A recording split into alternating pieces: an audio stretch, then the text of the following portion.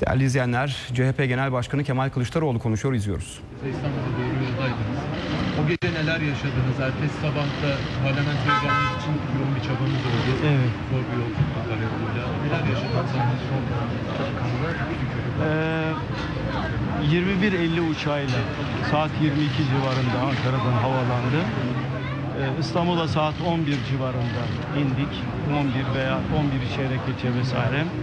Ee, uçak indikten hemen sonra e, arkadaşlar cep telefonlarını açtılar ve e, askeri müdahaleden söz edildi. Biz e, büyük bir ya böyle bir şey olamaz yani İnanamadım emin olun. Ee, Hayati Bey ile birlikteydik. Sayın Hayati Yazıcı ile birlikte biraz sohbet etmiştik zaten.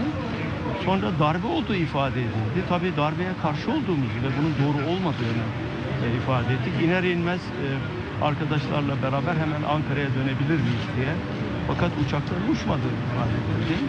E, Bir süre bekledik acaba e, bir uçuş fırsatı yakalayabilir miyiz?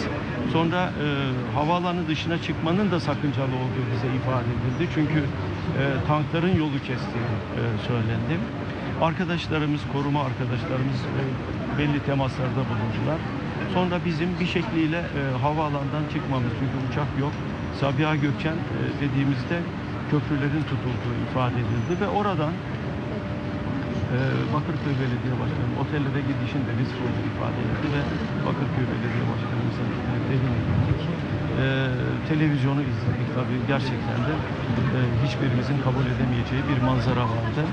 Ee, arkadaşlarımla birlikte, e, e, Okan Bey ile birlikte e, ve diğer e, il başkanımız ve belediye başkanımızla birlikte kısa bir metin hazırladık.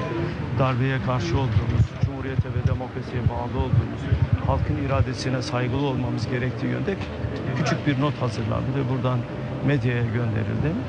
E, Daha sonra işte televizyon kanallarında e, darbenin doğru olamayacağını, 21. yüzyılın Türkiye'sinin böyle bir darbeyi asla kabul edemeyeceği yönde görüşlerimizi beyan Efendim, e, Peki, teşekkür ederiz. Başka var. ziyaretlerimiz de E, olacak. İçişleri Bakanlığı'nda, Maliye Bakanlığı'nda e, görevden alınan memurlar var. E, bu sürece ilişkin değerlendirmeniz ne olacak? Memurların izinleri e, durduruldu ve aynı Şimdi, zamanda... e, Yarın şimdi- başbakanla olan görüşmeniz Değerli arkadaşlar, e, Yarın, başka e, randevularımız var, Yarın, ziyaretlerimiz e, var. Yarın saat 10'da Sayın e, Başbakan'la görüşeceğiz. Az önce e, Sosyalist Enternasyonel'in başkanı Papandreou ile bir telefon görüşmesi yaptık. Durumla ilgili bilgi aldı. E, yarın yine e, Martin Schulz'la bir görüşmemiz olacak. E, biz kendilerine de e, Türkiye'de ifade ettiğimiz gibi e, demokrasiye olan bağlılığımızı, e, dikta yönetimlerine karşı olduğumuzu, e, nereden gelirse gelsin e, demokrasi üzerindeki her türlü vesayete açık ve net karşı çıkacağımızı hem söyledik bundan sonraki görüşmelerimizde de söyleyeceğiz. Peki efendim, teşekkürler, teşekkürler. O daha çok erken. Teşekkürler. Daha çok erken.